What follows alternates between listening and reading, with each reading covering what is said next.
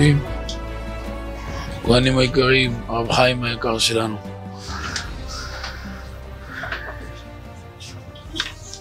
אה, אתמול למדנו מתוך הגמרא יסוד מאוד מעניין של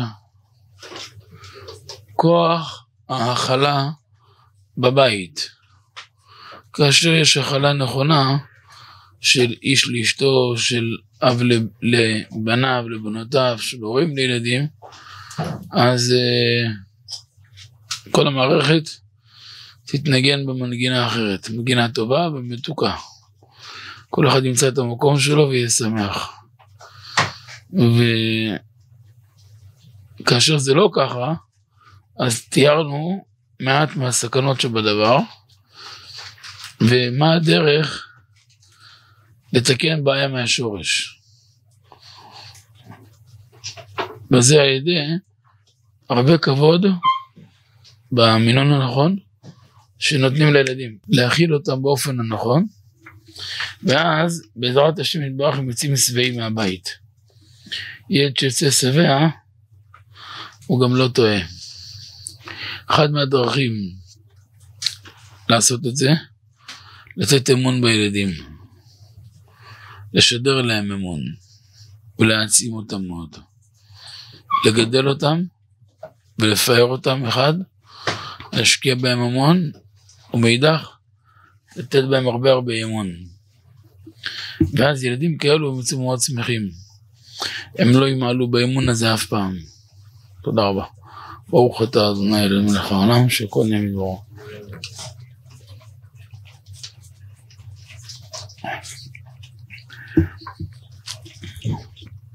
עכשיו, מה שלא הספקתי לומר אתמול, מה השורש של הבעיה הזאת? למה זה מתפרץ בנפש של ילד כבעיה? נתחיל מהסוף. למה ילד מוצא עניין ברחוב? למה ילד מוצא עניין ברחוב? מה הרחוב קורץ לו יותר מהבית?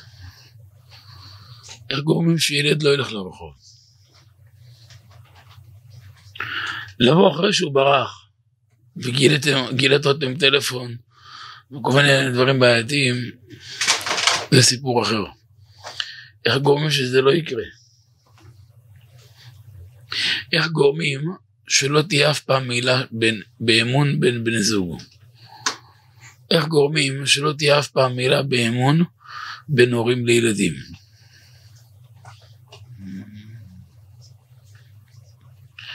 זה יכול להיות גם פרקטי בין אה, יחסי עובד מעביד. מערכת של אמון נכונה בין עובד למעביד, בין מעביד לעובדים שלו. בכל מערכת זה יהיה קביל ומתוקן. יש צורך, צורך שבנפש האדם, צורך כמו שיש לאדם צורך שנקרא נגיד אכילה ושתייה, אפשר אוכל יותר פשוט ואפשר יותר יקר. אפשר יותר משובח ופחות, אבל אוכל להתקיים חייב. אפשר שתייה פשוטה כמו מים, אפשר לחיות כל יום על הספרינגים. אם זה נכון, זה נושא בפני עצמו. אותו דבר יש צורך. יש צורך של שינה. יש צורך של אה, נגיד אה, אישה. זה סוג של צורך וקיום בנפש. יש צורך של כבוד. אז כבוד בסיסי דיברנו אתמול. בכבוד יש שתי חלקים. יש מינון בסיסי ויש אובר. במינון הבסיסי יש נקודות שאסור לנגוע בהן. למה יש כאלו שחוו לא עלינו, השם ישמור, הטרדות למיניהם בתחומים יותר אישיים או אונסים, הם נחסמים כל החיים. אפשר לעבור טיפולים מסוימים שמשחררים את זה, אבל בדרך כלל זה משקעים שמלווים המון שנים, כי נגעו בנקודת הכבוד הבסיסית. ונגיע בנקודת כבוד במינון הבסיסי, לא בכבוד ה over. יש גובה מינימלי. אה, כמו שנגיד, בלי זה המצוף לא יפעל, כאילו, יש את החלק מינימלי, אם יגעו בו, אדם יכול למות. אם לא ימות, אז אה, גבול שיגעון, או, או כל מיני משברים אחרים. זה מינון בסיסי שאסור לנגוע בו. אבל יש צורך נוסף, נקרא צורך לבוא לידי ביטוי. אפשר להגדיר את זה ככה, אפשר להגדיר איזה סוג של אה, חשיבות, אפשר להגדיר איזה סוג של שותפות. יש צורך בנפש להרגיש שותף, להרגיש שייך, להרגיש נחוץ, להרגיש חשוב למערכת, להרגיש תורם, להרגיש מועיל. אמרתי חמש-שש דברים על קנה אחד. מי שמרגיש שותף ושייך, מתוך הרגשת השותפות הוא ישים את ליבו, את דמו ואת בשרו. מי שמרגיש רק צופה מהצד, מבחוץ, אובייקטיבי, אין לו שום עניין בכלום. כדי לקנות מערכת אמון של הילדים, של האישה, על אותו משקל, זה בדיוק הנקודה הזאת. זה מילוי של הצורך הזה. לכן אבא חכם, מה הוא עושה? הוא קושר אותם אליו. המון פרגונים, כבוד, תשומת לב, נותן להם הרבה מקום. הרבה מקום של הכלה. ילדים כאלה יוצאים שבעים מהבית. כמות האוכל או כמות הכסף זה לא מה שמשביע את הנפש. איך השדר בבית זה מה שישביע את הנפש. שדר רגוע, שמח, שלב. ילד יודע שהוא מרכז העולם של אבא ואמא שלו. ילד כזה אף פעם לא ימעל ולא יבגוד באמון. מה נותן המצב שילד יוצא שבע מהבית? ילדים שיוצאים שבעים בנפש מהבית, אף פעם, גם לא בטעות, הם לא יפלו בעבירות לא צנועות. אף פעם בחיים לא יהיה מצב שהחברה תצליח להפיל אותם למבואות אפלים. למה? כי יש להם מקום. יש להם מקום טוב. אדם לא מחליף מקום טוב ומוצלח במקום מסופק או עובד. מי שמשתכר משכורת של מיליון שקל בחודש, זה לא הגיוני שיעבור לעבודה שהוא יקבל אפילו 20 אלף שקל בחודש. כי בשבילו 20 אלף זה לא כסף. אני כבר מקבל מיליון שקל בחודש, למה אני צריך לעבוד 20 אלף שקל? ככה מרגיש נפש בן או בת, נער או נערה, שיוצאים שבעים מהבית. וזה פרק ב' של אתמול. אז, וזה גם השורש של הגמרא. כשהגמרא מתארת את המשבר של החורבן, ותלכנה נטויות גרון, קומה זקופה, נטויות גרון, אה, מלאכות עקב הצד גודל. כל זה בא לכפר ולכסות ולטשטש או למלא צרכים שלא קיבלו בבית. וכאן תשימו לב, זה יהיה חוד, חוד ממש. וזה יסגור גם את אתמול גם את היום. כמו שפתחנו בנקודה של צורך ושייכות, שדיברנו מספיק על זה, הצורך הזה לבוא לידי ביטוי הוא דבר מאוד מהותי בנפש. יש, זה לעומת זה עשה האלוהים. לעומת החיוב יש את השלילה. למה ותלכנה נטויות גרון? למה, למה ותלכנה למשל אה, אה, עקב בצד גודל? למה מסקרות עיניים? הם צריכים להשביע מה שהם לא קיבלו. נפש רעבה, כל מר מתוק. משאר אוכלו לו שולחן, ואכל איזה שלוש ארבע סוגי דגים. לא, לא רק הגישו, הוא אכל. וגם איזה ארבע חמש סוגי בשר, וגם איזה שלושים סלטים. תביאו לו אחר כך, וביסקוויטים, זה בדיוק מה שחסר לו. כבר שתי כפתורים עפו לו מהבשר, אתה רוצה להביא לו עכשיו ביסקוויט. אתה לועג לו. אבל מי שלא אכל כל היום, תביא לו תה וכמה עוגיות, אה, זה בעל חסד גדול ייקרא. מאיפה זה בא? בואו ניקח אתכם למקום אחר לגמרי. ומי שיבין את זה, יבין את כל, את כל הנקודה הזאת בנפש. למה יש אישה?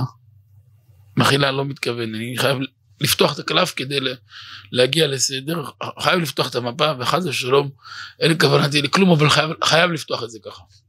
למה יש אישה שמבחינתה אשריש בביתך? תשאיר אותה 60 שנה בבית שלה, מבסוט עד, עד השמיים. גם כשהיא צריכה לצאת לקניות למשהו, היא יוצאת כי היא נאלצת, כי, כי זה צורך.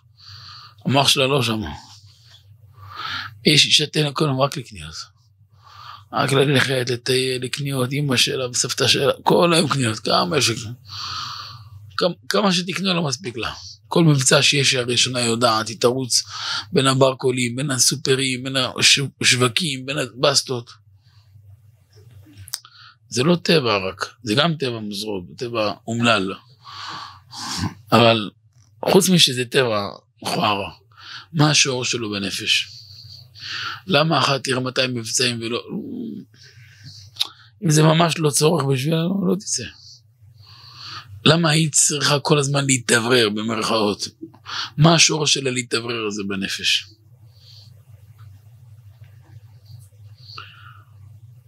אני אבוא יותר מזה. למה יש אישה שמתגעגעת הרבה לבית אמה, ויש אישה שלא מתגעגעת, הכל בסדר, היא תענה לאמא שלה בדרך ארץ מצד נימוס, אבל אם לא, היא זקוקה לזה, לא, לא זקוקה לכלום. למה? איפה זה בנפש? הכל קיים בנפש. ברגע שלומדים את המפה מתוכנו, הכל מסתדר. מסתדרים כאן, הכל יסתדר לבד. אמרתי לכם, אני אתמול בכיתי. אני לא בוכה על כלום. בכיתי לפני השם, אמרתי שלושה ימים על הגמרא הזאת. מה אני אגיד שהם ככה וככה? זה כל ילד בכיתה ב' למד הגמרא הזאת. תן לי את הסוד בנפש, איפה זה בא? אליבא דנפשה. ואז קיבלתי את המתנה הזאת. כן, אתמול ככה, אמרתי שלושה, שלושה ארבעה ימים, מה, מה, אני אדלג, הספר יהיה חסר.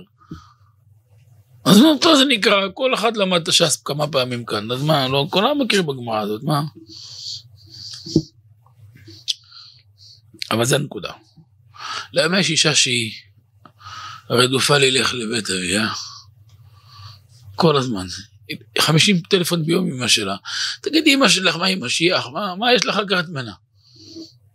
אמא, אמא, אמא, כמה אמא, דחילה קצת, תרדי מהאמא הזאת. ויש אישה, בסדר, אני יכולה לדבר פעם ביום, פעם יומיים, שלוש, נימוס דרך ארץ. בלי לפגוע באף אחד, תדעי בעבודה של הבעל. בעל טוב, הוא נותן לה הכל, אבל הוא כל כך נוגע בנפש שלה, והוא כל כך משביע את חלקי הנפש, והנפש היא מורכבת מהמון חלקים. דרכי לומר, בדרך כלל כשאני מחתן זוג, אז כשאני יושב על הכתובה, אני יושב בין חמש, עשר דקות לרבע שעה עם החתן. אם הוא יותר קישרן, זה תלוי בזכות, אבל בדרך כלל זה מספיק לפקס אותו. מסביר לו על מה הוא חותם, שלוש דאורייתא ושבע דרבונו, ואחר כך אני קצת מכניס אותו לאווירה של רצינות. אני נותן לו כלים מתומצתים מהותיים לחיים. ובדרך כלל, אני אומר לחתנים את המשפט הבא, בדרך כלל. אם נפש של איש, נניח דרך משל מורכבת, נגיד מ-50-60 חלקים, אז נפש של אישה בממוצע של 700-800 חלקים. משהו כזה, פי 12, פי 14, לפחות כאילו. לא אמרתי אלפיים, אבל זה יכול גם להגיע למספרים כאלו. נגיד אדם יש לו צורך אחרי יום עבודה, ארוחה חמה נגיד, יש לו גם צורך לישון על מזרון נגיד, נגיד איזה מיטה, ונגיד שיש לו צורך להתקלח, זה צורך בנפש. ויש לו צורך נגיד של קצת, לא יודע, פרנסה או... נגיד יש לי 10-12 צרכים. לאישה יש 700-800 צרכים, וכולם יהיו חיוניים לנפש. למשל הצורך של תכשיטים זה צורך בנפש. הוא לא מאיר הרבה, הוא פעמיים בשנה זה הזמן שלו. לכן, ואז הוא בפרנס. הפרנס שאנחנו אומרים בכתובה מה זה תכשיטים, זה לא פרנסה של העמך שאומרים פרנסה. בכלל לא, פרנסה תכשיטים. פסח סוכות, תכשיט יפה. מה אתה בזון? מה זה בפרנס תכשיטים? זה צורך. בידי צבעוני שמור בגמרא, זה צורך. זה צורך בנפש. אני לא מדבר רק בפן הגשמי שהוא לארג' איתה. שיש אוזן קשבת, שהוא מכיל אותה, שהיא יודעת, שהוא מבין אותה, והוא חי אותה והוא נושם אותה. והיא יודעת שהוא ראש, שהיא ראש מעייניו. היא יודעת שהיא כל העולם שלו. והיא מקבלת מספיק תשומת לב. מילים של שבח, מילים של כבוד, מילים של אהבה, חובה להגיד מילים. יש, יש בעל שאני מכיר אדם שנותן לאשתו מאה אלף שקל בחודש, אבל הוא לא יודע להגיד מילה טובה. היא הולכת כל החיים בהרגשה מרוקנת. הוא לא חסר לה בחיים כלום, אבל חסר. צריך ללמוד להגיד מילה טובה, מחמאה. לפעמים חצי שעה ביום צריך, זה חלק מעבודת השם, אצל זוגות מסוימים, רק לדבר דברי שבח, כבוד, פרגון ואהבה, וזה צדקה. וזה צורך לנפש. שזה נעשה נכון, היא תהיה שבעה, היא לא צריכה ללכת לטיול, והיא לא צריכה כלום. היא לא צריכה כלום.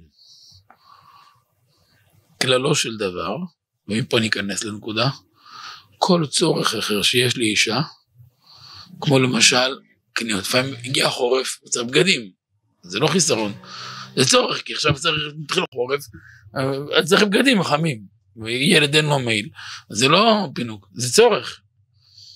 אני מדבר על דברים over, כל מיני יציאות לא שגרתיות.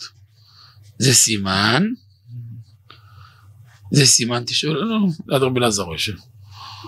תשאל רבי אלעזר. זה סימן, כל הדברים האלו, מעבר לסטנדרט, לנורמה, כמו שמנינו, שהבעל לא עושה עבודה טובה. לא אחת תמצאו אצל בעלים שעושים עבודה טובה, שגם זוג צעיר אפילו, אם מתמזל מזלה של האישה שהיא קיבלה חתן מוכשר והגון שמבין את הנפש ויודע לדבר על הנפש שלה, והוא ממלא אותה נכון, הוא ממלא אותה נכון, שבוע, שבועיים אחרי פתאום היא לא זקוקה לכלום. מי עובר משבר? אימא שלה. למה? אני לא צוחק, זה דברים שאנחנו מטפלים בהם ביום יום. למה אימא עוברת משבר? אנחנו, אנחנו קוראים את המשבר הזה מ-200 מטר לפני. למה? כבר מכירים אותו, למה? לקחו לה את החברה הכי טובה שלה.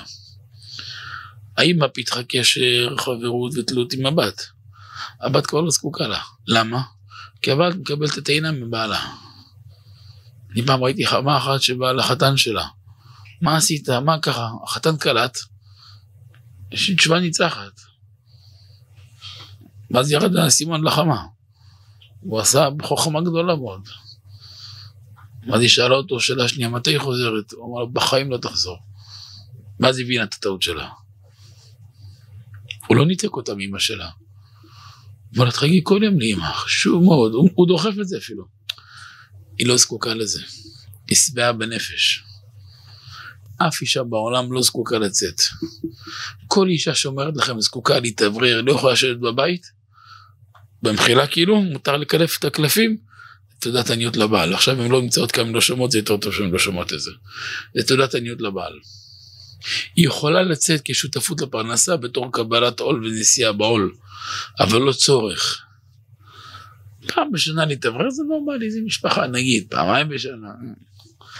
אבל כשזה נהיה צורך, זה לא צורך. זה כיסוי על משהו. זה כיסוי על משהו. עוד דבר שלמדנו מרבנו החזון איש, אישה לא צריכה הרבה זמן. היא צריכה זמן איכות, והיא צריכה סדר בראש, והיא צריכה משענת חזקה. אסור לה לראות שבעלה מפסידן, ובעלה חלשלוש ולוזר. היא חייבת לראות בעלה, מבין עניין, חכם, נבון, מוחלט. ואז הם מאוד יצליחו. תוצרת של בית כזה תהיה תוצרת מעולה, מעולה, מעולה. בנות, בנים שיגדלו בבית כזה, אף פעם לא יהיה להם נפילה הכי קטנה. כי הם גדלים בעולם ברור, בעולם שמח, בעולם שבע. אישה כזאת בחיים לא, לא תעשה טעות. לעולם טעות של אישה, לעולם היא תהיה מספר שתיים. אף פעם, אף פעם, גם לא, גם לא אחד לאלף, זה למדתי מאבא, ובדקתי אותו ב... לא יודע איזה מספר פעמים. אין מצב אחד ממיליון אפילו בעולם לדעתי, שאישה פותחת בטעות. היא יכולה לעשות טעויות חמורות וגסות וקשות מאוד, אבל בתור מספר שתיים, אחרי שהוא עשה טעות. אם הוא לא טעה, בחיים היא לא תטעה. אין מצב, לעולם תהיה מספר שתיים ולא מספר אחד. וזה הסוד של כל הגמרא הזאת. קחו את זה בתוספת מה שלמדנו אתמול, אנחנו סוגרים את כל הפלומבה של הדבר הזה. מהשלילי תקישו לחיוב, ותראו כל אחד מהם איך זה. אז תראו עכשיו את הגמרא. דרש רבא ברי דרב אילאי, מה דכתיב אומר אדוני יא כי גבו בנות ציון, כוונת הפסוק לומר שיהיו בנות ציון מהלכות בקומה זקופה. למה? למשוך תשומת לב מיותרת. למה צריך תשומת לב מיותרת? כל דבר יש בו שלילי או חיובי. תמלא את הכוס במשקה טוב ורווח טעים, לא יעמוד במים רעים. הכוס תהיה מלאה, השאלה במה? או מים מינרליים או ביוב, אבל מלאה היא תהיה חייבת להיות מלאה. הכוס לעולם תהיה מלאה. אישה נקראת בשון חז"ל כלי, למה אין קוראת ברית שעשה כלי? הכלי חייב להיות מלא. מציעים לבעל הראשון למלות. אם הוא ימלא רוויח, אם לא, במקרה הפחות טוב זה אמא שלה. במקרה פחות טוב מישהו מהשוק. אבל הכלי לא יישאר ריק. הכלי לא יישאר ריק. אקסיומה, קחו אקסיומה, כלי לא יישאר ריק. אותו דבר ילד, ילד שיש לו כבוד בבית, יש לו תשומת לב נכונה, ומחשיבים אותו, והוא שמח, הוא מקבל כל הצרכים שלו. הוא לא יטעה, הוא יצא שמח, גם החברה תמשוך, זה לא מדבר אליי. הוא יקנא קנאת השם. הוא אף פעם לא ייגרר אחרי שטויות. ואם יעשה טעות הכי קטנה, המצפון שלו יהרוג אותו. והוא לא ישן בלילה בלי לשתף את ההורים שלו. הוא לא יוכל להמשיך צעד. הוא לא יוכל לעשות טעות הכי קטנה. אבל כשלא מקבלים את זה מהחיוב, הבומבה תבוא מהשלילה. במוקדם או במאוחר. הבאתי לכם אתמול שתיים שלוש עובדות מספיקות. לפני שבועיים, שבוע שעבר היה כאן משהו שזעזע אותי ממש, ולחלק משהו כאן בנצח אחרי התפילה, עוד לא מיהרו, נשארו, ראו את זה. בא לבן אדם, נראה... טוב, לא משנה. הוא עבור היה בחור ישיבה וזה וכולי וכולי, וגדל עם קשיים לא פשוטים. גם אבא שלו היה כאן וגם הוא. כנראה אבא ירד לחייהם בצורה מאוד קשה. והבנים שלו, שמונה בנים כולם פרקו על בעוונות. הוא היה חייב לעשות מעשה. כמו נקמה בנפש. ועד עכשיו אני מזועזע מזה. לקח גויה. ואף עד היום, ניסים שבע שנים ואף אחד יודע שהיא גויה. כתובה. אמרתי לו, מי חיתן אותך? הרב פלוני, מאיזה עיר, לא משנה. לקחתי את כל הפרטים. איך עשית רשום ניסים? לא נרשמנו. מה הבעיה? ואיך זה, ואיך זה, כל דבר. והיה בחור ישיבה, הוא חי שבע שנים עם גויה. אבא שלו בטוח שיש לו כלה צדיקה, סגנית של משה רבנו. גויה, גויה, גויה. השם ישמור. הוא בא לכאן, ואז הגעתי לו בנקודה מסוימת מאוד מאוד עדינה. זה מזעזע את הנפש. זה מזעזע את הנפש, למה? אז אולי זה רחוק. ומה זה כל העוונות הרבים שקוראים ישמעאלים? בללות קשה, פחד פחדים, אה? פחד פחדים. פחד פחדים. מה שנמצא, מחילה עם העם בחוץ מלווה את העם, דברים מזעזעים את הנפש. זה פחד פחדים. למה זה? מה השורש של זה? מי שלא יקבל בחיוב, זה יבוא במוקדם במאוחר מהשלילה. זה יבוא קשה. זה לא נבואה, נבואה זה מציאות. הכלי יישאר מלא. השאלה ממה הוא יתמלא. לכן הורים חכמים עדיף שהם ימלאו. וזה הרמז שרבותינו תקנו מים אחרונים חובה. למה מים אחרונים חובה? עשית סעודה, עשית מים ראשונים קדושים טהורים, כן, יופי. אכלת איזה לחמניה טובה, כן, וגם סלטים, וגם איזה דג טוב, וגם איזה בשר טוב, וגם זה, וגם, וגם, יופי, מצוין. תן לו משהו. תן לו אתה משהו, כי אם לא הוא ייקח מה שהוא רוצה. אם הוא ייקח, הוא ייקח מים אחרים. מים שאתה לא רוצה שהוא ייקח. הרבה אנשים באים בשאלה לרב.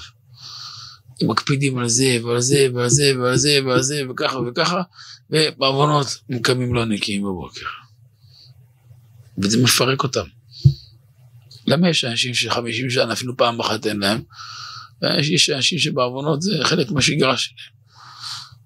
למה? זה אחת הסיבות. אם הרצון והשוב לא מאוזן, הנגיחה חייבת לבוא. במוקדם או במאוחר השאלה מאיזה זווית היא תבוא. לכן חייב לדעת את הנפש של האדם. וזה דברים שאי אפשר לקחת אותם ככה. ולא כדאי שהחיים ילמדו את האדם כי לימוד של החיים הוא כואב מדי. לא כל אחד מוכשר ללמוד מהחיים, גם לא משתלם תמיד לקחת מהחיים את הלימוד. כדאי לקחת מתוך דבריהם. אבל זה העומק שלנו. ותראו עכשיו הוא מביא חמש-שש דוגמאות, וכל הדוגמאות זה מה שלא קיבלו בחיוב, אז נתבע מהשלילה. תראו, הנה, נגיד קומה זקופה, למה? משיכת תשומת לב מיותרת. למה? יש תשומת לב חיובית, תשומת לב שלילית. יש ילד בכיתה, למשל, כיתה עם 30 תלמידים. קחו דוגמה הכי פשוטה מעולם של חינוך. הרב שאל שאלה, לעינה, בום, ראשון, פאק, מבריק. עוד שאלה, פאק. 30 דיבורים ברש"י, בכל דיבור הילד הזה הגיב. מה התגובה הפשוטה הכי טבעית שתשמעו בכיתה? כל הכבוד לפלוני. פורת יוסף איזה תלמיד. כל הפרגונים שבעולם הילד הזה יקבל. נכון, למה? זה נקרא תשומת לב חיובית. אבל יש ילד שהוא לא ברחי, הוא גם בכלל לא שמה, אבל חייב שיזכירו אותו. הוא יציק לפלון, הוא יציק לשם, פלוני תפסיק, יציק לו. זה נזכר בסוף שיעור 30 פעם, וזה 30 פעם. זה 30 פעם, פלוני תפסיק, אני אוציא אותך החוצה, אני אסלק אותך הביתה, אני אקרא למנהל חתימת הורים. 200 אזהרות. זה גם תשומת לב, אבל שלילית. אבל תשומת לב חייבת להיות. על אותו משקל. קחו את זה עכשיו, תקישו את זה לבנים, לבנות, לאישה, על אותו משקל. אז מי שמכיר את המקום, יודע, נותנים לו את המקום שלו, וחייב לתת לו את המקום שלו. אני מאיפה למדתי את זה מאבא שלי. לפני הרבה שנים, שם שולחן שבת. באמת הרבה שנים. אולי, אולי 19, אולי 20, כמעט 20 שנה. 18, 19, 18 ומעלה שנים. היה רבי אלעזר שלנו, ילד קטן. ואבא שלי היה שם לו בשבת, מחילה טוב, סליחה שאני מספר. אבא היה שם לו דג שלם כמו של מבוגר, אמא שלי הייתה עושה דניס כזה שלם, דניס ככה שלם, יפה. מנה גדולה, מכובדת, 400, 500 גרם. אז אמרתי לו, הוא לא אוכל, הוא קטן, הוא היה יושב בשולחן יפה. בצורה מאוד בוגרת. אז אמרתי לו אבא חבל הוא לא אוכל. אמר לי, את המילה חבל אף פעם אל תגיד לי, ככה אמר לי. טוב. ואתה שאני שואל, אה, הייתי צובר שאלות בחינוך כל השבוע, בערב שבת אחרי הדג הייתי פותח אותם. כל שבת מה המתנה שאנו מקבלים. ואז אמר לי, בוא אני אלמד אותך משהו מהותי בנפש ילד. הוא אומר, תדע לך, אני אף פעם לא מוזג לילד בשביל שיאכל. בשביל שלא יאכל. אתה יודע למה אני מוזג? אני מוזג לו כמו מבוגר, שיראה שהוא מכובד בעיניי כמו מבוגר. והנכדים זוכרים סבא להם מתחיל, אצלנו אבא להם מתחיל קידוש, היה לכל ילד כיסא והיה דואג לכל ילד, והיה דואג לקטנים ולמבוגרים באותה רמה. הוא היה דואג להם באותה רמה. דרך אגב, הוא לא דיבר איתם כמו קטנים. הוא דיבר איתם מגיל שנה, כמו גיל 15. הם הבינו מצוין מה שהוא רצה. והם לא אכזבו. הוא דיבר איתם בגובה שלהם. אבל זה חינוך. ואז אמר לי, אני בכלל לא שם שהוא יאכל. אני שם שהוא ידע שהוא מכובד. וידע שהוא חשוב, הוא חשוב לא פחות ממך. ככה בשיא הפשטות. אבל זה פרק בחינוך. אמר לו, בסדר. אז הוא לא אכל, אז הוא פירק את הדג. בל תשחית זה לא בל תשחית, בל תשחית של הנפש יותר מסוכן. אני בניתי נפש, כן, ככה ככה אבא התעסק איתם. הם רואים נכדים בפרטיסים נשואים עם ילדים, במחר, תסתכל עשרים שנה אחורה, הוא ככה דיבר איתם. בשביל זה יהיה לו ראייה בחיים. זה נקרא להוציא ילד שבע. וזה הגמרא שלנו. עכשיו, כל המשיכת תשומת לב שלילית, היא באה לכסות על פשע. איזה פשע? פשע זה אותיות שפע. זה עולם התיקון ועולם התוהו. אורות בתוך הכלים ומחוץ לכלים. זה אותם אותיות, תהפכו את זה ותרוויחו את הכל. עכשיו, כל התשומת לב שלילית, למה? במקום חיובית. אם היה חיובי, לא היה שלילי. כמו שאין מושג אישה לא זקוקה לעניין מסוים. שהיא לא זקוקה, סימן שהוא הגיע לכזה מצב שהוא שרט את הדיסק, כזו שריטה עמוקה, שהוא אומר לה, אין מצב כזה, אין, אין, אין, דבר, אין חיה כזאת. היא תקבל את זה משש זוויות אחרות. אבל זה לא יחסר. בנפש, המינון הזה לא יחסר, אין מצב. זה לא יחסר. עד גבול של החיים זה לא יחסר. או מפה במקום אחר, אבל זה יגיע. או במחשבה או במעשה, או דרך הריצוי של דברים אחרים. אבל זה מסוכן מאוד. לכן צריך ללמוד את הנתיבים החיוביים, אחרי זה תתחברו עם כל מה שאמרתי אתמול, תרכיבו את הפאזל ותראו גמרא, כפתור בפרח. בצד גודל, מה העניין? הבלטה, משיכת עיניים, למה? לא קיבלה מבפנים בחיוב, היא בשלילה, אותו דבר. מה לנכוך לעיניו, למה? למשוך עוד משהו, למה? עוד פעם, שלילי לחיוב, חיוב שלילי, קחו את כל אתמול והיום, תחברו את שתי השיעורים יחד, הלוך ותפוף. אה, כל מיני בליטות. מרגלנו את הקסנה, אמר מצחק אמר כל מיני זה, גירוי של יצר הרע וכו' וכו'. למה אותו דבר? שהיה... עכשיו, לכן גם בתיקון אחר כך, גם היה קצת יותר עדין. אבל אם מתרגמים את זה בפן הנפשי שפתחנו אתמול, ואם רק חידדתי נקודות, אז מקבלים מבט מאוד מאוד יפה לחיים, ממש מבט מאוד מאוד מיוחד. וזה גם תשובה אה, לחסוך, לחסוך הרבה נפילות והרבה קשיים, הרבה התמודדויות. לכן זה לא מלחמה, אסור שזה יהיה מלחמה. צריך להביא את זה למקום אחר לגמרי, חיוב של כוח הכלה, של פינה חיובית, ושזה מגיע ממקום טוב, זה השתבח שמולד מגיע למקומות נפלאים. סיכום, ילד שיגדל בבית שמקבל כבוד, ויש לו מקום בבית, ויש לו משקל, ומכבדים אותו, והוא שמח, ומחשיבים אותו, ויש לו דעה נכונה, ומוערך, הוא לא יבגוד אף פעם. הוא לא יבגוד. וגם מפרגנים לו, לא מתחשבנים איתו. הוא חייב להיות uh, מהבית. בגשם ורוח. אבל אם יורדים לו. חונקים אותו, זה מסוכן. גם מחנך כיתה. יש פינות בנפש שאם מחנך ייגע לתלמיד בהם, הוא סתם את התלמיד, הוא בחיים לא יקבל ממנו. הוא יעבור גיהנום איתו כל השנה. התלמיד לא יכול לקבל. ובנקודה הזאת הרבה מלמדים נכשלים. הם יורדים לנקודות דקות בנפש של התלמידים, חושבים את עצמם פרופסורים, והם עושים נזק עצום. אמרתי למחנך אחד לפני איזה שש שנים, שהוא צריך לפתוח פיצריה ולמכור פיצות כל היום. הוא מאוד נפגע, מה זה נפגע? עד היום הוא נפגע. אבל מה אני אעשה? ראיתי את העוול שהוא עושה לילד, לילדים, זה היה משהו מטורף. משוגע זה משהו, סכנה גדולה מאוד, סכנה אכזרית.